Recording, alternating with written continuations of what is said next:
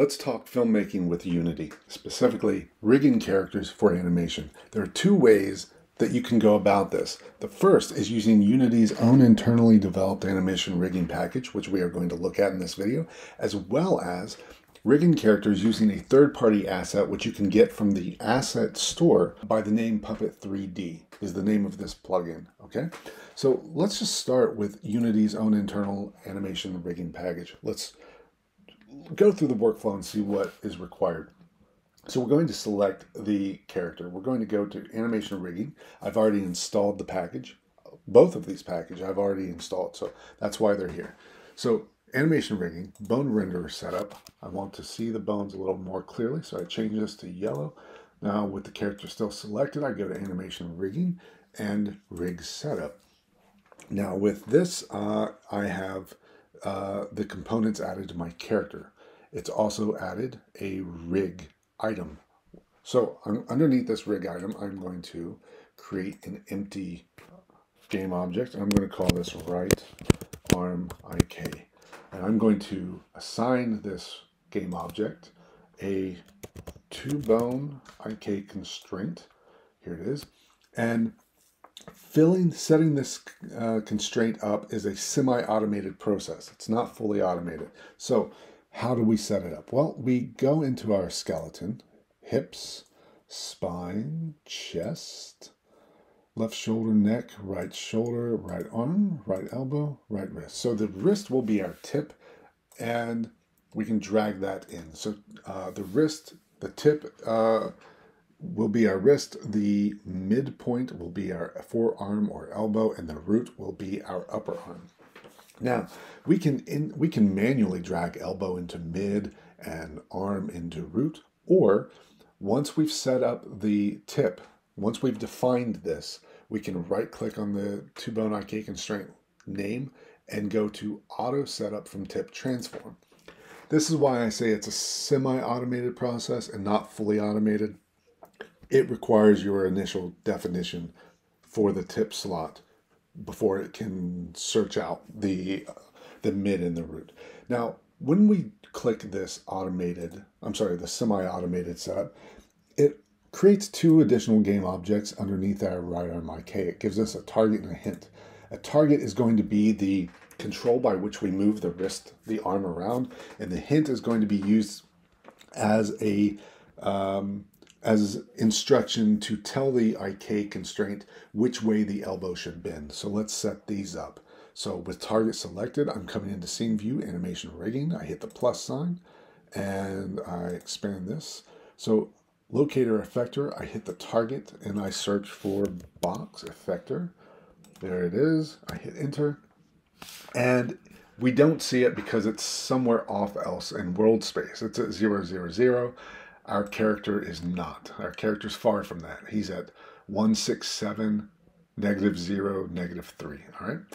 But Animation Rigging Package provides an easy way to align these things. You select your uh, controller element, in this case it's our target, and we find our the bone we wish to align it to, which in this case is the wrist. So I'm on Mac, so I'm command clicking so that I have target and wrist both selected simultaneously. I come up to animation rigging and I select align transform.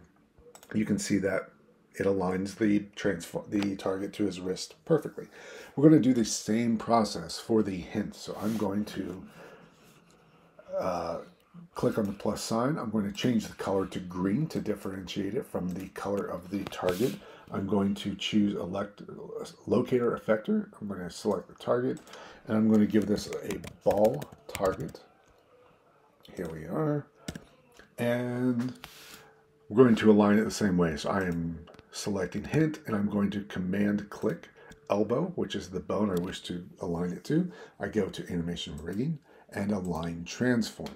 Now, right off the bat, you can see it's perfectly aligned to his elbow, but we want it to be behind his elbow as a constant reminder to the IK chain that the elbow should bend in that direction. A common beginner mistake is that before, like as soon as you uh, change as soon as you align the transform, you might want to push this backwards, but you'll notice you still have the elbow selected, the physical elbow, and that's why you distort the arm. So I'm Command Z, and I want to make sure I only have the hint selected, which is this ball effector.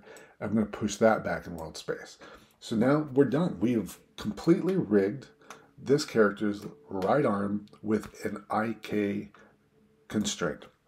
If we want to rig this entire character, we need to take the process that we just did and apply a two bone IK constraint to his other arm, to each of his legs. We have to use a different style or different type of constraint to provide controls for his hips, for his center of gravity, possibly, for his chest, for each of his shoulders, for his neck, and his head.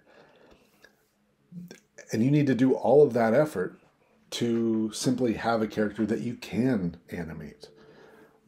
Well, that's a lot of work, especially if you are going to uh, rig multiple characters for one scene. Which brings us to Puppet 3D.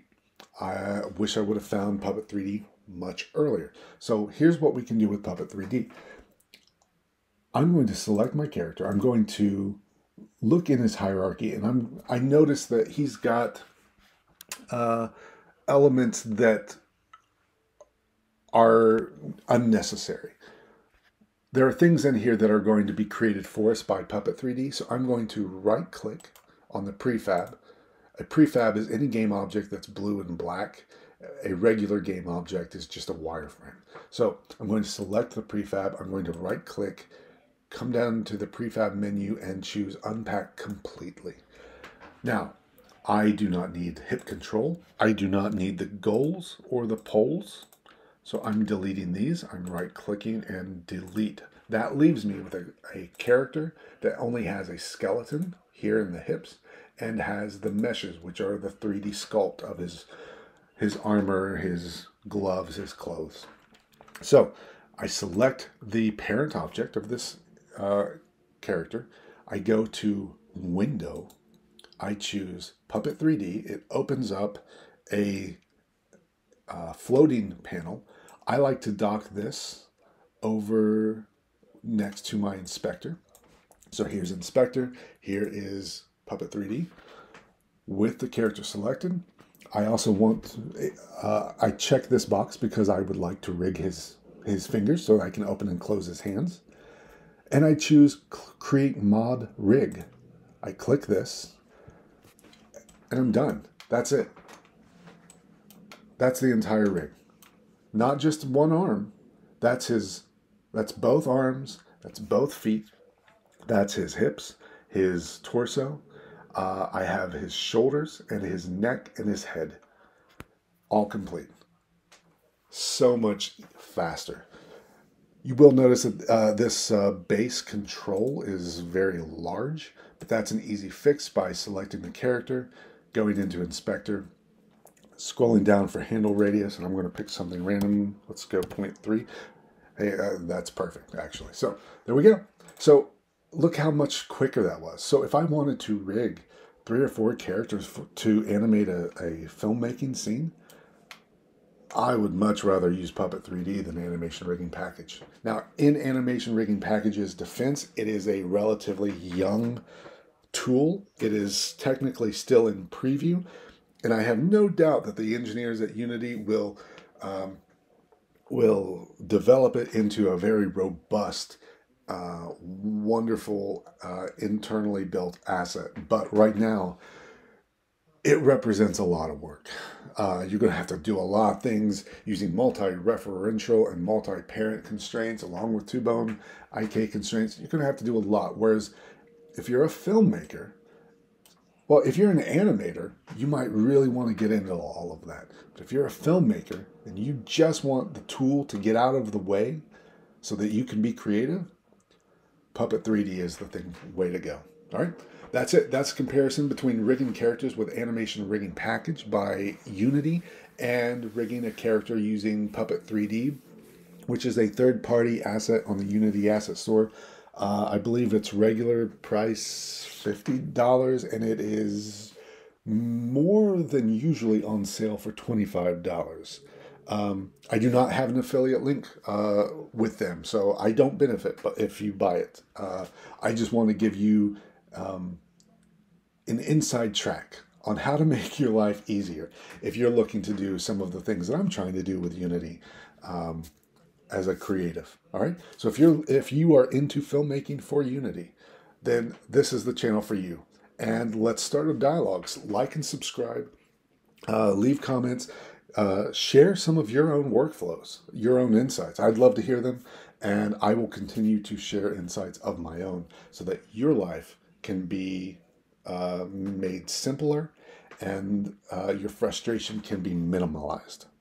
All right, that's it for this video. Thank you for watching, and I will see you in the next one.